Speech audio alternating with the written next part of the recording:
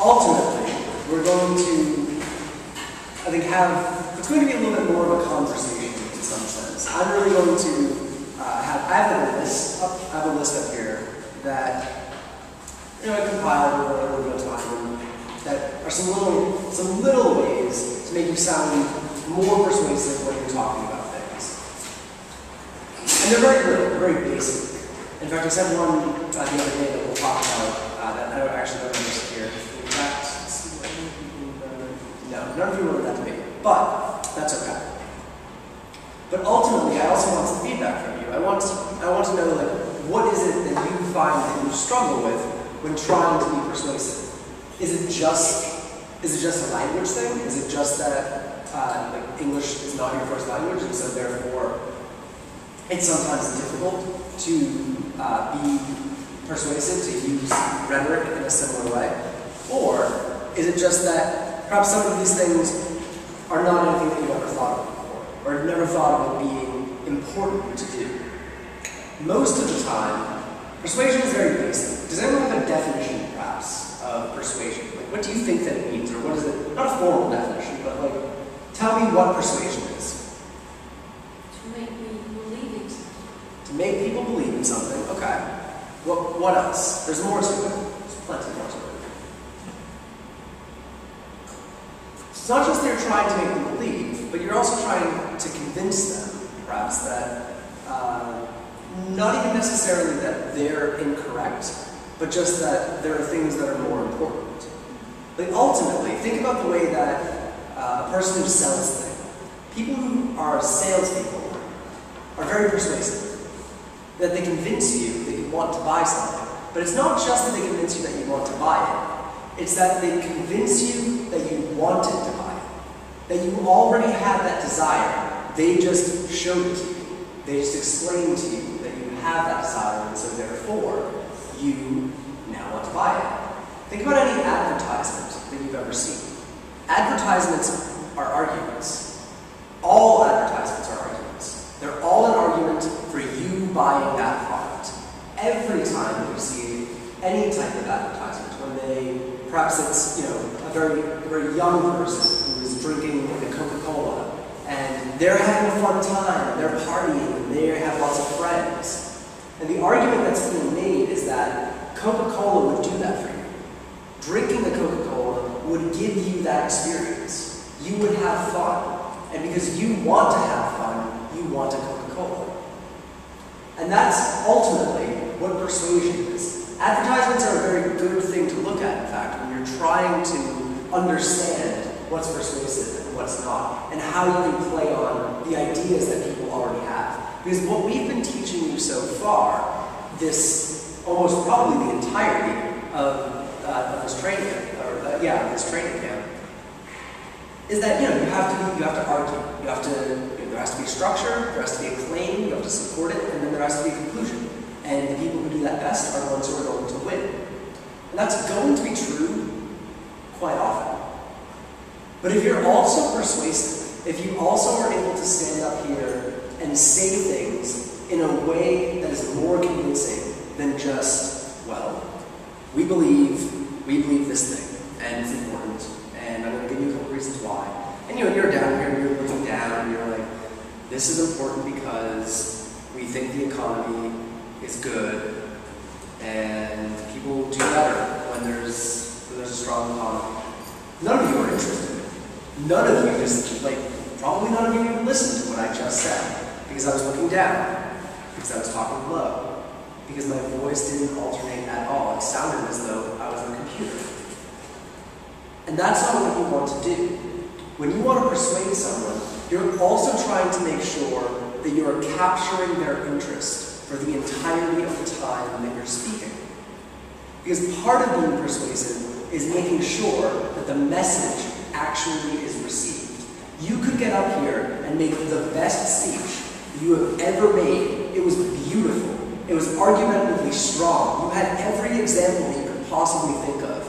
And it was great. You were feeling so good. And then you looked up to realize that the judge had headphones in. They didn't hear a word that you said. And then they asked you to do it over because they weren't paying attention. That's, okay, hopefully that never happens because that would be an awful judge, right? Like, that would be the worst kind of to have had headphones in at all. But the idea is that you want to make sure that the message is received. And part of the way that you make sure the message is received is by changing and varying the way that you pace your voice. By sometimes getting louder and then sometimes maybe like getting quieter, getting quieter and speaking slower. Because if someone were to walk in here with a booming voice, they came in here and they're like, everybody, welcome! And you had been sitting there and you were like not really paying attention, really sure what you were doing here, but then you, you know, this person walks in and they're like very loud, very booming voice, and you just look up and you're you know, you're attentive right then and there. You want to know what they're going to say next. And so two things have happened quite often in many of the debates that I've seen. People have not, not started their speech very strongly. And they also have not finished their speech very strongly. And what you really want to do when you're going to start your speech is not like if you're coming up to right here because this is where you this is where you want to speak. You don't want to come up and as you do just start speaking. You want to be like, and so we're the prime minister and I'm going to talk to you about. It's not what you want to do. It's not very persuasive. The reason that's not very persuasive is because it doesn't look like you're set. It doesn't look like you want to be up here. If you take your notes you're, you come up here, you set it down, you look up, make sure everyone's ready, press the start button on your timer, and then you start. And you start in a way that is strong, with your voice really projecting, with everyone able to hear you and know exactly what it is that you want to talk about. That's a very good idea. And it's a better idea to make sure that you've set everything down, collected yourself, and then begun. Same thing with finishing. You don't want to finish your debate speech with you know, people tapping on the table, wanting you to sit down, being like, you, you have spoken so far over time. You want to finish your debate speech in between the double bang and before that third, like when the judge bangs on the table three times. If you have to, if you have to finish after that, that three bangs, like maybe five seconds more, that's really the most leeway you're going to get. Because ultimately, the message that you're sending by speaking over that time is that, excuse me, is that you weren't able to say everything that you needed to say in the seven minutes that you were given. It looks like you were unable to do what you had to do within the seven minutes that you were allotted.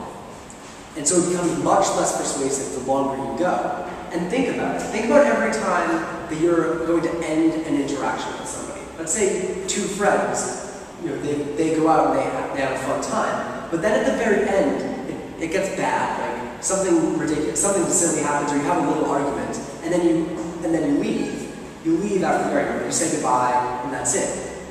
The, you know, what ends up happening is, at the end of that evening, you remember the argument most probably. That ends up being the thing that was most important because it was negative, because it was bad, because it was at the end, and there wasn't any more time for good things to happen. The same is true of your debate speech. You want to end your speech right when you want it to be done. You don't want anyone to tell you to have to get to go and sit down. That's not good. That's really, in fact, it's very bad. Ideally, you have a final line, like a concluding sentence, a sentence that will end your debate speech, that after you hear that double bang, you can get ready to say. Then you can say it, and then you can just look up and say, thank you, and then sit down. Because then it looks like you're in control. It looks like you know exactly what you're doing. You look comfortable and you look confident.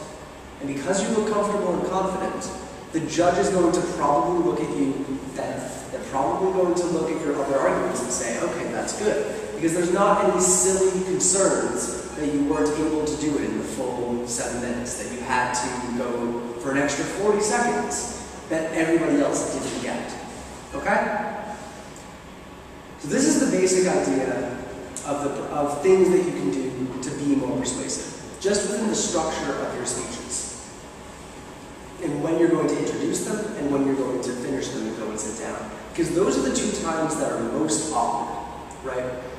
Additionally, there's something that people do, and I haven't seen much of it, but there's something that people do quite a bit in, uh, well, especially in America. Beginner, beginner debaters in America will oftentimes make a speech. They'll get up here, they'll give you a speech. It'll be all right. It won't be the best. They'll know things that they could have done better. They just, you know, they're still new. They're still very new to debate. And so they'll finish, and then they'll then they'll sulk off, right? They'll they'll look down. Their body language will say that they think that it was bad, and they'll get over there, and their partner will be like, uh, you know, they'll say to their partner, "That was the worst thing that I've ever done." Like they'll be very angry, not angry, but also disappointed, because they'll think that they've done a bad job. And if you think, or if you think you've done a bad job, in the debate round, you should hide it. You don't want the judge to also think that you think that you did a bad job. Because if I'm judging a debate and I think that you did a bad job, I'm curious. They weren't confident about that. They didn't think that was good. Why not? What was it about that speech that they didn't like so much? So if you're not expressing confidence when you're walking up to the podium and when you're walking away, it's not, again, it's not something that would ever be said to you. It's not as though a judge is ever going to say something like, in fact, if they did, they would be a horrible judge. They shouldn't ever say to you, you lost the round because you looked like you were upset at what you said. That shouldn't happen.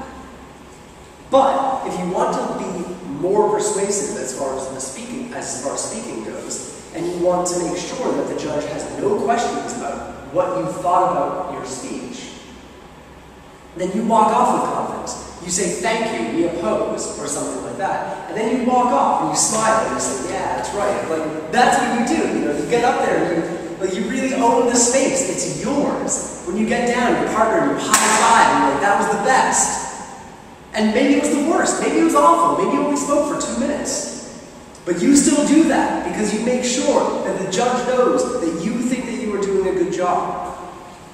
And that's very important because it's also true in, you know, I mean, again, all of these things that we've been telling you and teaching you and engaging with you about are all applicable in real life as well. This is true in social situations as well. If you approach something with no confidence, people aren't going to necessarily respond positively. And so being confident in what you're going to say is going to be important. Now, obviously there are limits, right? Like, maybe you don't high five. You don't want to be very ostentatious. Does that make sense? You don't want to be you don't want to be showing off or anything like that. That's not the idea. But it is to express that quiet confidence of saying, "Yeah, that was good." You, know, you, as you come to sit down, your partner pats you on the back a little bit, and if the judge happens to see it, then it'll look good. But it's a good way of approaching it because it means that you recognize that not everything is life or death. Not everything, like if you lose the debate, it's not the worst thing in the world. If you win the debate, it's also probably not the best thing in the world. But it's good. And it's maybe a little bad to lose. But if you approach it with that mindset of recognizing that you're performing almost, you're gunning up here, you're giving a speech, because you're not always talking about what you believe in. You're not always explaining exactly what you think and why you think it. Sometimes you're saying what other people think. Sometimes you're saying the opposite of what you think. And so getting up here and acting that part of the show is also a good idea. So, with that said, there's one more general thing that I want to say about persuasion, then we're going to get into like actual examples of like how you can like specifically express more knowledge and sound even better in, in some particular rounds. One other thing to note is that, especially in a tournament setting, if you're at, at a competition, if you're at a competition and you already spoke, you've given your debate speech, and then the judge looks up and sees that you're like playing on your phone. It's a temptation that we all have, but you should definitely avoid it. You should definitely, like, if they see that like you're on Facebook, Facebook, but you know, you know, Jen, is that right? Is that it? Yeah? Got it, I think. Brenda? Who knows? Anyways, that. If you're if you're on that, if you're or if you're reading something, that that looks disrespectful to the other debaters in the round. It looks like you couldn't be bothered to care about what they're saying. It looks like you're not engaged anymore in the debate. So why should I, as a judge, give you first place if you're not even engaged in the round, if you don't even care about what's happening in the rest of it? So that's another thing to just be aware of, especially in a competition setting. Because if you're in that competition, you want to be doing everything. You want to be doing everything you possibly can to make sure that you're going to win. And that's absolutely one of them. It is surprisingly common how often people will pull out their phones and will just start playing around during a debate. Not, I'm not saying here, actually in general. Generally speaking, it's very common. I've watched many debates, and it happens more than you would think. And you just look over, and you say, what, what are they doing? Why are they doing that? That's not good. That doesn't help you in any way. It doesn't make you more effective. If it doesn't make you more effective in that debate round, you should not be doing. Okay. Are there any questions on any of that? Good. This is good. So, let's look at a couple, by a couple I mean eh, quite a few, uh, examples of, I'm going to call them tricks. I'm going to call them persuasion tricks because that's ultimately what they are. It's really a matter of, it's really a matter of framing what you're going to say and how you're going to say it. So a good example of this is going to be the first one, where what you can do if you have, if you know a country, right, and you know who the leader of that country is, then sometimes if you have to, if you have to talk about what that country is going to do, let's say you're going to say that uh, the United States should invade Syria, or should militarily intervene. And now you could keep saying over and over and over again that, well, the US government, the US government, the US government. But then you could also refer to it as saying the country's capital itself as what they're doing, as what they're going to do. So it's much different, and it sounds like you know quite a bit more if you say something like Washington, D.C., which is the capital of the United States. Washington, D.C. should should plan to invade militarily Syria. Something along those lines. Or like London should do this policy. London should join. Because it sounds like it's more specific. It's somewhat more specific. And so if you talk about the country's capital as doing the action, because that's where that's where of course like their legislative buildings, that's where they would be making the decisions to do these things. Whether or not to invade Syria, whether or not to give more money to North Korea, things like that, they would be deciding in their capitals. And so by using that as a way of kind of implying that you have more information than you might actually have, it's a good way of going about it. People would be a little surprised and they say, oh, they know what they're talking about. That's great. In the same way, that you can refer to the political leader of the government as the, as the government itself. So you can say something like the Obama government. The Obama government really should do something. You know? It could be that. It could be something like uh, the Brown government, the Brown parliament in, uh, in England, things like that, or Merkel in Germany. You know, Merkel's government should do this. It allows people to think that you have a little bit more information than you otherwise might have. Because it's something that you know, but it sounds like you know quite a bit about Germany.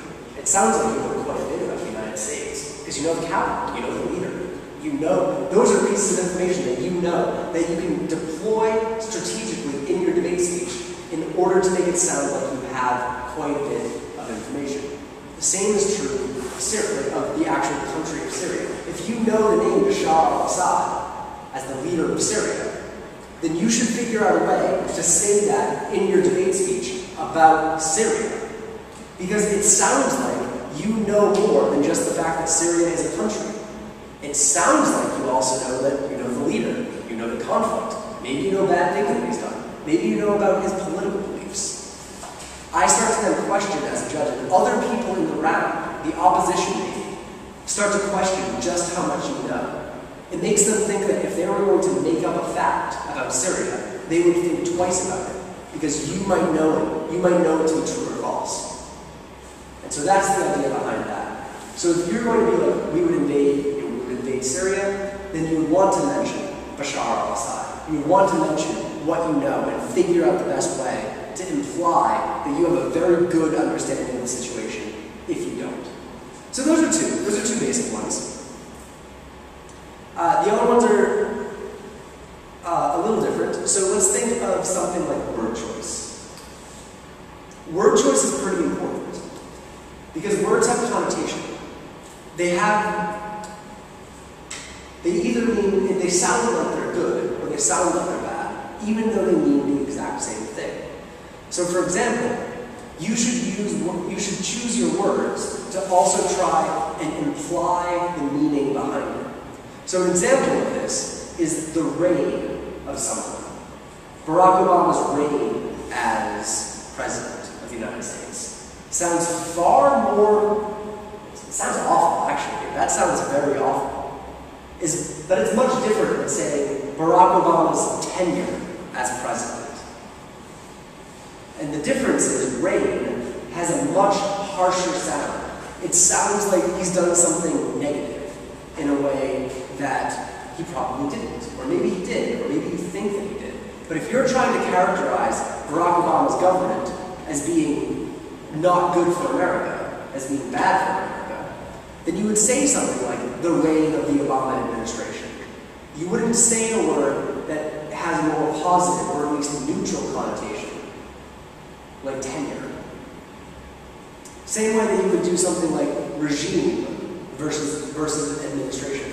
So the reign of Barack Obama's regime sounds much worse than the tenure of Barack Obama's administration. One of those sounds very negative. It's obviously the first one. The first one sounds very negative. It sounds almost a little dangerous. It almost sounds like you should be a little bit afraid. And that's how word choice is very important within the context of a debate round. Because in particular, if you, if you say things and you want to describe them in a way, there are sometimes words that will help you describe them, that will save you time. They're almost shortcuts.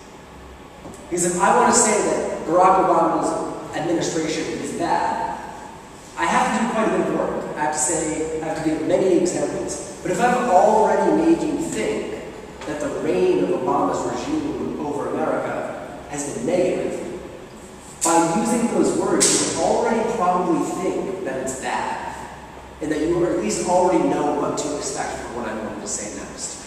Another example is something like bias versus the word perspective. So if I say that you are biased against women, that's one example of something that I could say. It sounds very negative. But it could just be that you have a very interesting perspective on women. Now, in this instance, I'm pretty sure that the perspective is also going to be bad, and that's going to be negative. But bias versus perspective, they kind of mean the same thing. Maybe you're biased, or maybe you view things in an interesting way. You know, so if the idea, of course, here is that you're trying to describe to me what you're saying through the language that you're using. And the words that you choose are going to have important implications for how I interpret what you say.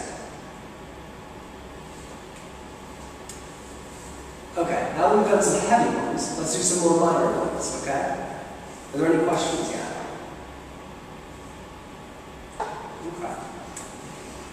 A pretty good yes.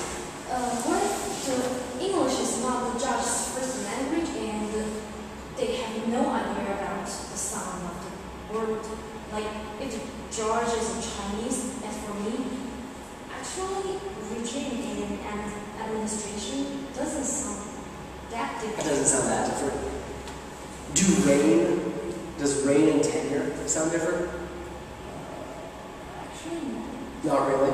Yeah, so that's that's what I was wondering because so in English it certainly does have those words do have particular particular connotations. So the word a word like reign and even regime tend to be thought of as words that describe governments that are either corrupt or maybe not even necessarily corrupt, but certainly uh, maybe very ambitious and interested in power. And so, if you say something like the reign of, because like the usual the usual saying is something like a reign of terror, and so it sounds bad. It sounds very negative. And so once you say the word reign, like no one talks about the reign of prosperity.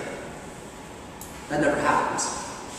And it's largely because it's associated with very negative things rather than being associated with positive things. And so that's, that's very interesting that you wouldn't notice much of a difference between those two. Because you're, probably because the definition is very similar, right? Oh, I mean, what do you mean by the difference between words? Is there sound or the meaning? Because I know regime has a bad meaning when we refer to God and things, but uh, I, I first understand your point as uh, it is the difference between how they pronounced, how they how they sound.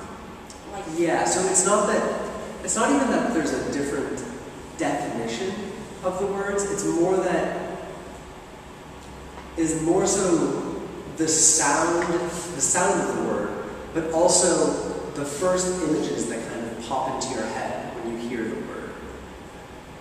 So another, so a good example is like words that have, that mean the same thing, but have a different emotional impact.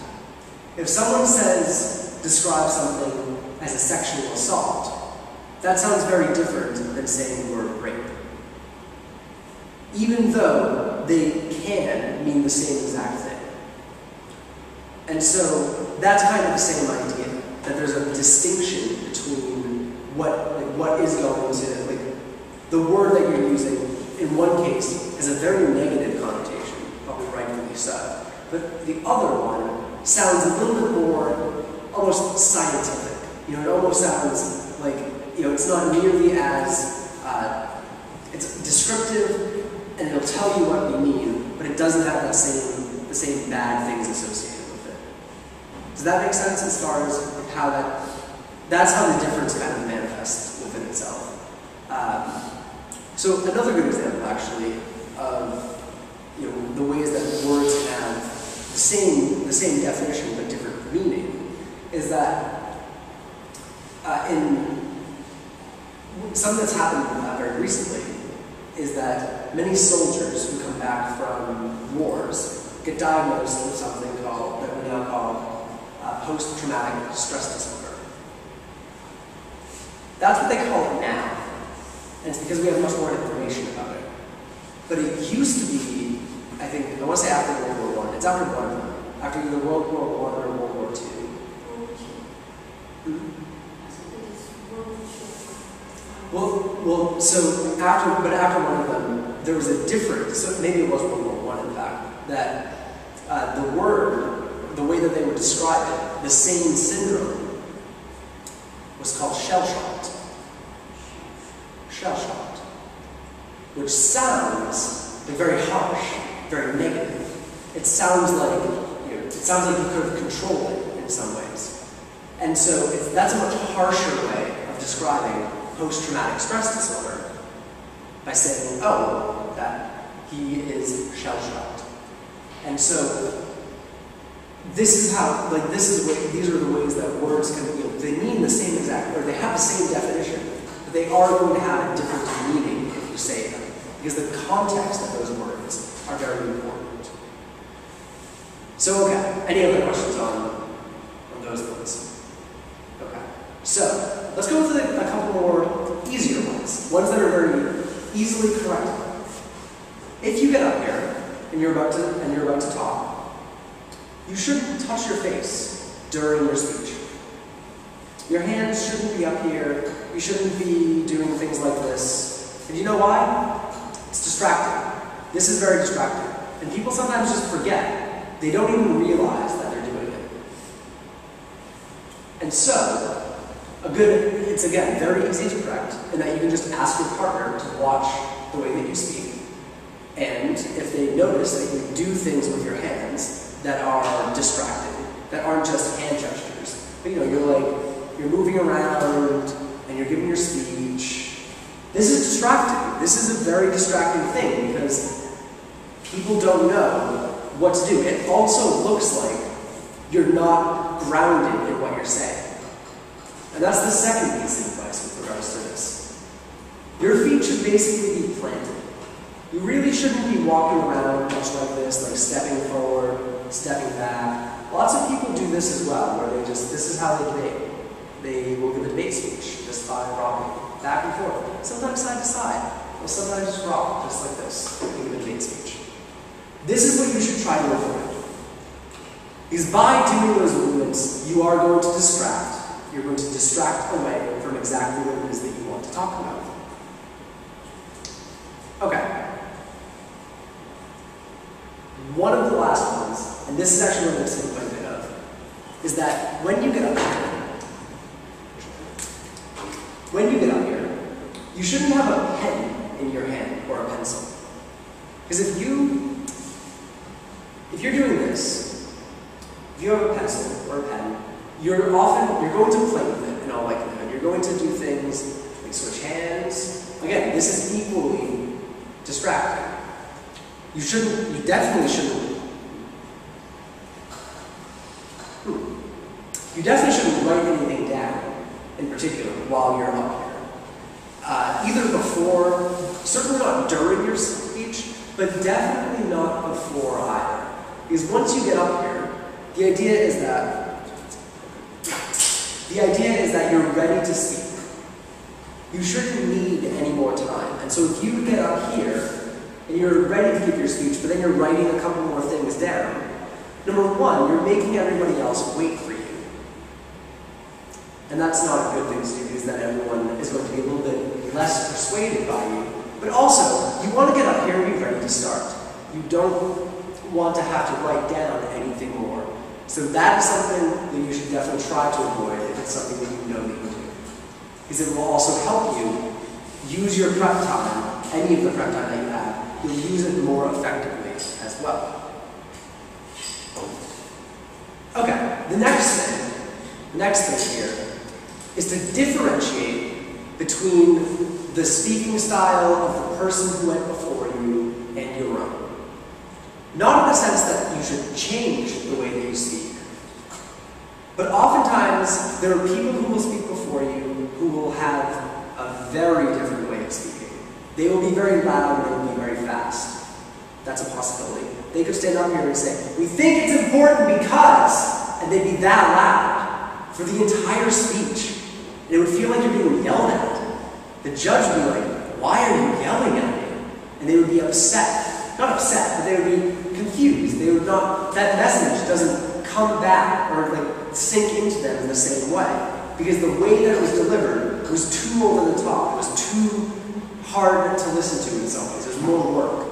So if that happens, if someone before you has that type of speaking style, then it's very good if you come up here and then you come up to present your case in a slower and a little bit more even toned manner. When you say, we believe that this is very important.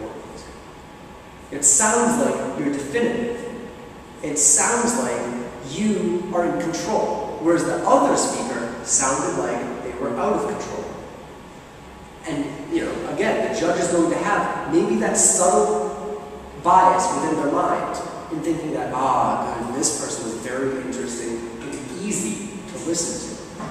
And so that can highlight your speaking style. Another good example of this, though, is if someone comes up and is very boring. You know, their speech is the, you know, it's all the same tone, it's very quiet. They get up and they say things like, we believe that the economy is important, and, and you know, they do that for seven minutes. That's what they do for seven minutes up there. And if you notice that, if you notice how quiet they were, how there wasn't much energy in their debate speech, then you want to walk up here with energy. You want to look like you're energetic and have that speaking style that will be interesting and engaging to listen to. Which is why when you get up here, you, you stand up and you say, We have three points and we are excited to tell you about them. That's what you're trying to convey in a lot of ways. Because afterwards, it looks, the distinction is what's important. The way that you just differentiate yourself from the previous speaker. That might be, that might have been boring or that might have been too loud.